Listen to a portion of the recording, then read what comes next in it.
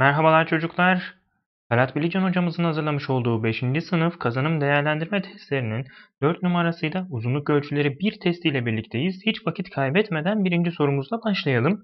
Aşağıdakilerden hangisinin uzunluğu santimetre ile ifade edilmez demiş.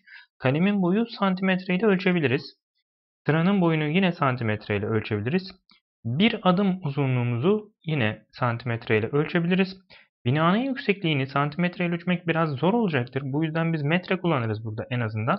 O anlamda cevabımız D şıkkı olacaktır.